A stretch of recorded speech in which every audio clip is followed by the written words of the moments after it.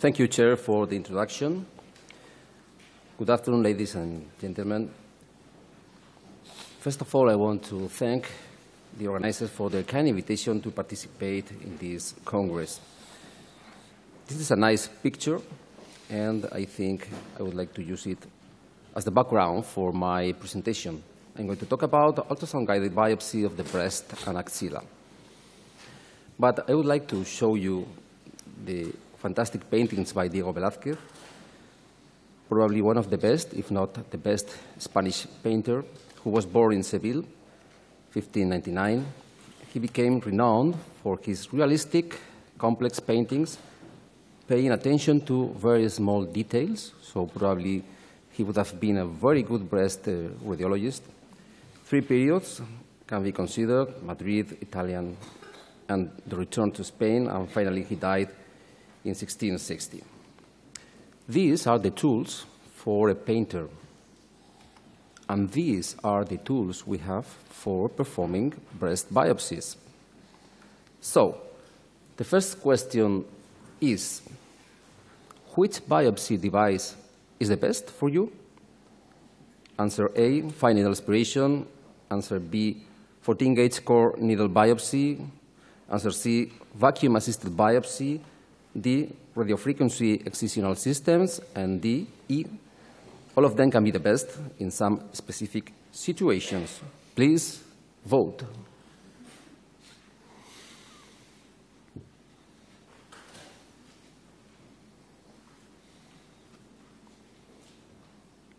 You have 15 seconds.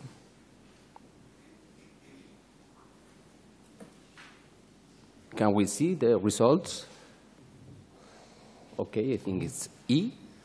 I totally agree. All of them can be the best in some okay. specific situations. For instance, for a cyst, we only need a fine needle. For most, for most uh, solid masses, ultrasound-guided core needle biopsy is the choice. And for very small lesions, B3 lesions, perhaps vacuum-assisted biopsy devices are the best. This is due to the variety of lesions that can be seen on pathology of the breast. But we have three guiding methods to, to be used with the previous techniques. And we have to know how to choose both the optimal biopsy device and the guiding technique so we move to my second question. What is the most important question in order to choose both the optimal biopsy device and the guidance system? A, is the lesion a cluster of calcifications or a non-calcified lesion? B, is the lesion visible on a stereotactic unit? C, is it palpable or not? D, is the lesion smaller than 5 millimeters? And E, is the lesion visible on ultrasound? Please vote.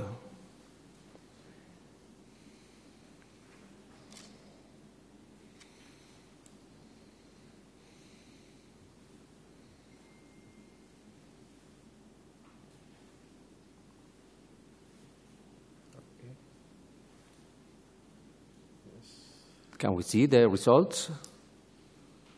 Okay, I totally agree with you.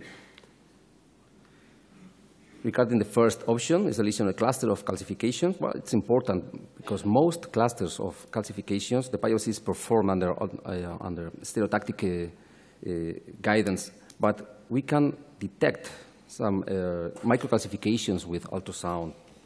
So we can perform biopsies under stereotactic and ultrasound guidance for microcalcifications. Regarding the second question, well, it's a good question, but it is not the most important.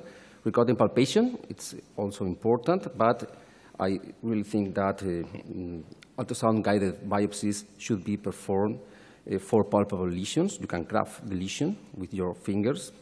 It's much better than without ultrasound guidance regarding the, the 5 millimeter, well, it can be sometimes uh, useful, a vacuum-assisted biopsy for very, very small lesions in order to, to get uh, reliable uh, specimens. And of course, the last one was the most important for me because if the lesion is visible on ultrasound, then use ultrasound for guiding a biopsy. These are the reasons for the widespread use of ultrasound-guided core needle biopsy.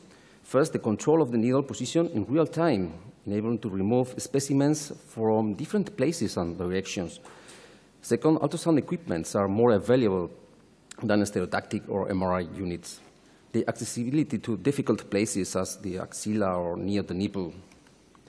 The local anesthesia does not hide the lesion, even it can be used to move the mass to a more convenient location.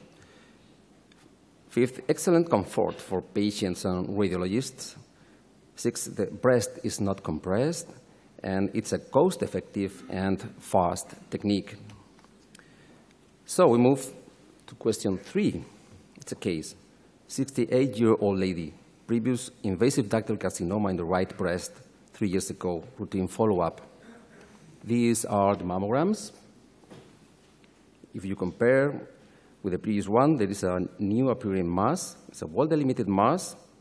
It is not very far from the scar. And this is ultrasound. So the question is, what to do next? A, follow-up. B, ultrasound-guided fine needle aspiration. C, ultrasound-guided core needle biopsy. D, ultrasound-guided vacuum-assisted biopsy and E, surgical excision. Please vote.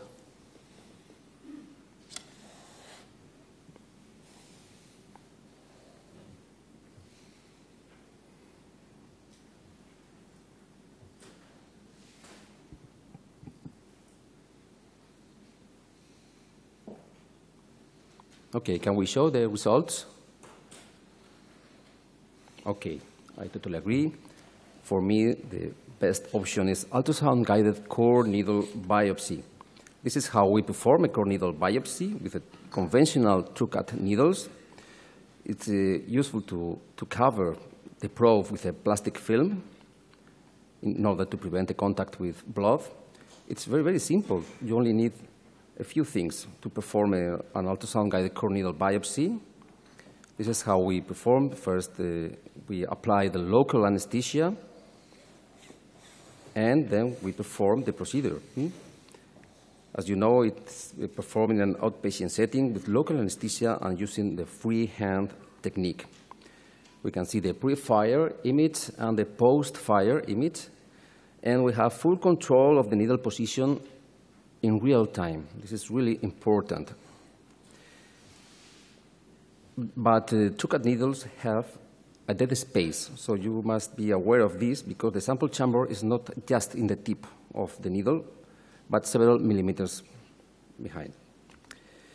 So we move to a next case, case number four.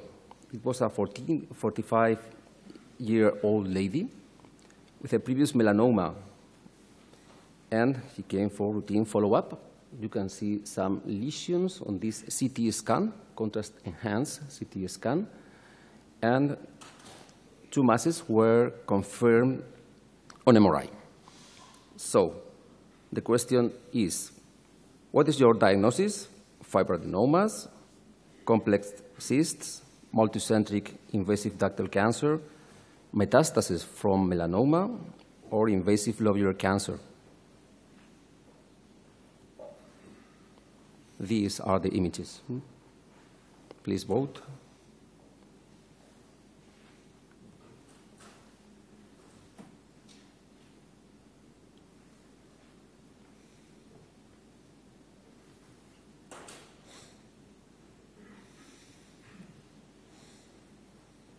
Okay, can we show the results, please? Yeah, absolutely agree. There were metastases from melanoma. This is the PET scan showing the two lesions, and this is the appearance on ultrasound. And this was the appearance after the biopsy, black specimens, typical of melanoma. Because the color is important. Usually, the white is better than the yellow because yellow is fat, the consistence of the specimens is also very important. Hard specimens are better than, than soft. I mean for diagnosis, not for differentiating between benign and malignant. and the grade of immersion. Mm, the specimens that sink are usually better because they have less uh, fat. And how many specimens are necessary? According to these authors, four specimens if they are non-fragmented and they sink. But to be honest, I usually obtain no more than two or three if they are high-quality specimens. And what is the best approach to the lesion? As a general rule, use the shortest way from the skin to the lesion. Always use an oblique approach as parallel to the probe and to the chest wall as possible. Try to avoid, of course, pneumothorax. And always try to use an approach through fat. For instance, in this case, for this mass, you can use the fat lobule as a highway. It's very easy to direct the needle through fat. But what to do in very dense breasts? You can use a 16 gauge needle because the shot is stronger. You can use a coaxial technique to insert the needle, or you can use stronger devices such as vacuum assisted devices. The needle tip is very important. The second one is much better than the first one for dense breasts. And what to do in deeply located lesions? You can inject the local anesthetic to move the lesion to a more convenient location. And please use a parallel approach to the chest wall to avoid other problems. In this case, for instance, we can inject, apply the local anesthesia to move the lesion to a safer position. Or in this case, this lesion, and this is an breast implant, we can inject the local anesthesia to create more space here for security. And then we move to the next question. It was a 48-year-old lady that felt lump in her right breast one month before. And these are the mammograms, magnification views. You can see two clusters of pleomorphic microcalcifications, both in the MLO views and CC views. So the next question is, what to do next? A, follow-up. B, ultrasound-guided needle aspiration. C, ultrasound-guided core needle biopsy. D, ultrasound-guided vacuum-assisted biopsy. Or E, vacuum-assisted biopsy under stereotactic guidance. Please vote.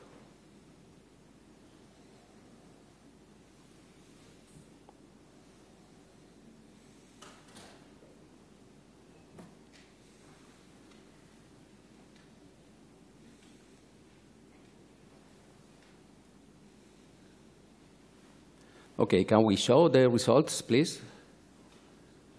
Well, I, I don't agree. Don't forget that there was a palpable mass. Hmm? The best choice for a palpable mass is an ultrasound-guided core needle biopsy. This was ultrasound. There was a huge mass, palpable mass, and ultrasound showed the palpable lesion as an irregular mass. Pathology was an invasive ductal cancer. So Remember, for palpable lesions, ultrasound is very, very useful. And this was MRI. Mm -hmm. Incredible. And can we perform a skin biopsy? Okay, the TrueCut needle can be easily used as a punch. And if the skin is very thick, an ultrasound-guided core needle biopsy can be performed. I will show you some cases. You can use for a, an inflammatory breast cancer, you can use the, the TrueCut needle as a punch, and you obtain good material, good specimen. Or for these recurrence, it's very easy. You only apply anesthesia and perform the punch with the, with the TrueCut needle. But if the lesion is bigger and you detect the lesion on ultrasound, you can direct the needle under ultrasound guidance to get the specimens. Well, ultrasound-guided core needle biopsy is an excellent technique. The results regarding sensitivity are very, very good, 95% of sensitivity. There are many studies on this topic. And in long-term studies, the false negative rate is about 2.5%, which is acceptable. And it's really important imaging histological discordance. That can be the clue to rescue some of the false positive cases. What are the complications of core needle biopsy under ultrasound? They are really infrequent and non-relevant complications. Hematoma or bleeding to present infection, very, very strange. Pneumothorax, almost impossible for an expert radiologist. And epithelial displacement can occur. Of course, you need the informed consent of the patient. Look, this is a hematoma after a biopsy. It was a pseudoaneurysm I do not have the Doppler images, but this was a pseudoaneurysm and posterior surgery, further surgery was performed. You can inject some uh, microfibrillary uh, collagen to prevent uh, the bleeding. And what about the epithelial displacement? Well, there are several articles. Most of them are very ancient, 1992, and it really occurs. We move the cells from the epithelium to other part. But the conclusion of most of these uh, uh, articles is that there is displacement, but these displaced cells do not seem to be viable, and there are no significant differences in, recurrence rates if we use um, core needle biopsy, uh, surgical biopsy, or biopsy uh, by palpation. So it's a safe technique. Don't worry about that. But caution, please do not introduce air bubbles when the anesthesia is injected. It's very important. Sometimes a hematoma can hide a very small lesion. That can be a problem. And pneumothorax is really infrequent. Of course, always use a parallel approach to the lesion. This is a case of bleeding. This is the initial lesion. And after the first biopsy, the lesion was obscured due to the hematoma. This can be a problem. Or be aware about air bubbles, hmm? because in this case, this is the lesion, and after the injection of anesthesia, perhaps you can miss the lesion. Be aware of air bubbles. And what about uh, microcalcifications? Is ultrasound-guided core needle biopsy useful? Well, microcalcifications are rarely seen on ultrasound, most biopsies for microcalcifications are guided by uh, stereotaxy, but ultrasound is useful to detect the invasive component of the tumor in extensive microcalcifications. But if the microcalcifications are not clearly identified, then try an stereotactic guidance. For instance, in this case, an extensive case of microcalcifications on mammography, you can detect perfectly these microcalcifications on ultrasound, so there is no need for an stereotactic uh, guidance. Please try first to do the biopsy with ultrasound, or in this case, an extensive case of microcalcifications. In this case, uh, ultrasound was uh, able to detect a very small solid mass that was the invasive component of the tumor, because the remaining microcalcifications were DCIS. We can perform a biopsy for a cluster of microcalcifications, in this case using a vacuum-assisted biopsy we insert the needle below the cluster of microcalcifications, then we open the chamber, the aspiration, and we repeat several times until the cluster disappears. So, do we need vacuum-assisted biopsy devices under ultrasound guidance? In this article, until um, 2003, the authors compare 181 core needle biopsies, conventional 14 gauge, with 100 vacuum-assisted biopsies, and they found no significant differences regarding false negative rate underestimation, complications, and repeated biopsies. And why? Well, we know that most lesions detected on ultrasound are homogeneous masses. In other words, a small specimen is representative of the whole lesion. This is what happens with invasive cancers and fibroadenomas. Typical example of uh, invasive ductal cancer. Let's move to the next case. Number six, 56-year-old lady. She was asymptomatic. Recent ultrasound-guided core needle biopsy with the result of papilloma. You can see here uh, circumscribed oval mass, both in mammography and ultrasound. So my question is what to do next? Follow up, MRI percutaneous excision using an ultrasound-guided uh, guided vacuum-assisted biopsy, surgical excision, and E. That means C and D are true, percutaneous excision and surgical excision. So please vote.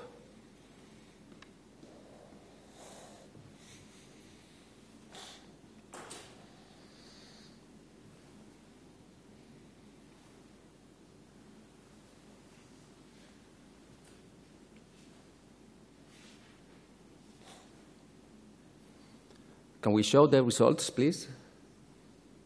Yes, C and D are true, for me too. Well, in this case, in this particular case, we perform an ultrasound-guided core needle biopsy. It's a very safe uh, procedure. You can see the device, the specimens you obtain. These are the images. You just insert the needle below the lesion, and you remove it. It's very simple. And you can see the previous mammogram, and one year after the biopsy, only a very small scar can be detected. So, in my opinion, some of the B3 pathological lesions can be removed with using ultrasound-guided vacuum-assisted biopsies. Some radial scars and some papillomas. But be aware of ADH, lobular uh, neoplasias, and Phyllodes tumor. So in my opinion, we can use vacuum-assisted biopsy as a second line after 14 gauge core needle biopsy with a B3 pathological result, or we can use this technique as a first choice for architectural distortions, microcalcifications in an ultrasound or very small masses. And we can use this technique to remove benign palpable lesions, some fibroadenomas and papillomas, and sometimes to obtain huge specimens for clinical trials. Another example, this is a radial scar after core needle biopsy. This is the TOMO image.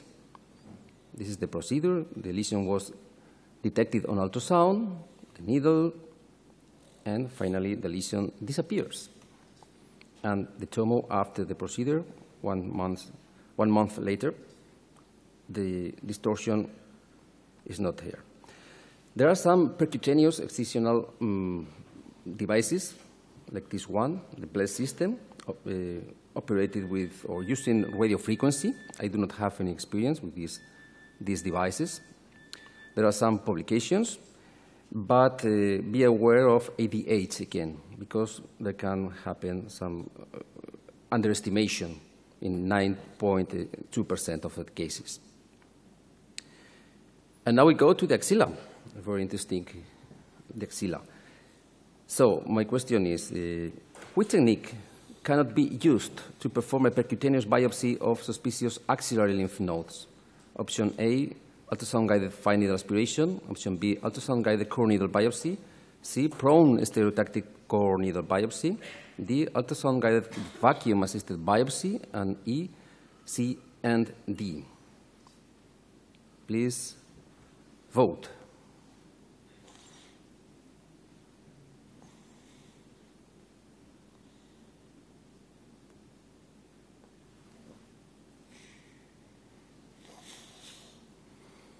Okay, can we see the results?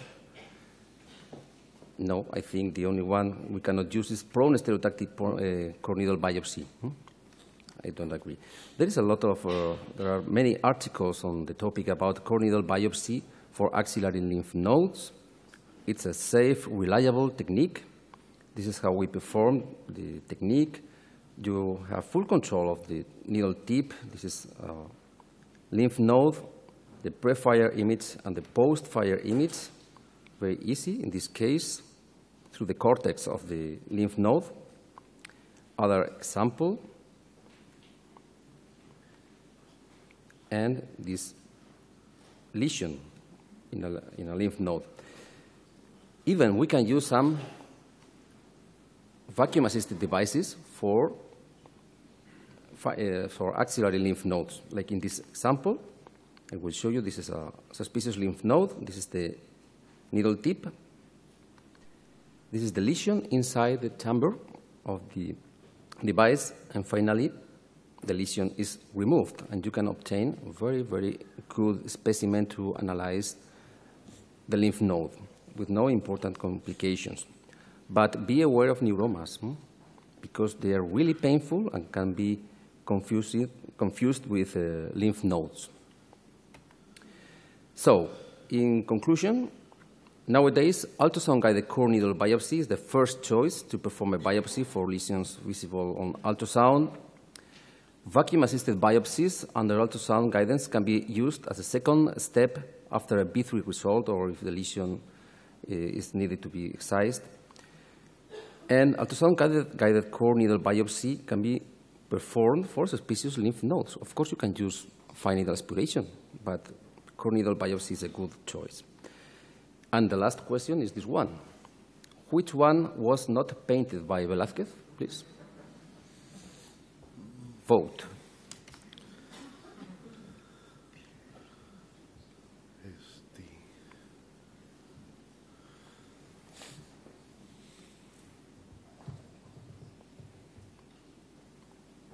Can we see the results? Yes. This is Saturn devouring his son by Francisco de Goya y Lucientes. And I would like to finish with this quote by, by Velázquez, who said, I would rather be the first painter of common things than the second one in higher art. I can say that I would rather be the first uh, or the best radiologist for the common lesions than the second one for the very complex or strange lesions. And remember this, ultrasound-guided core needle biopsy is really helpful for the usual lesions we can see every day. Thank you very much for your attention.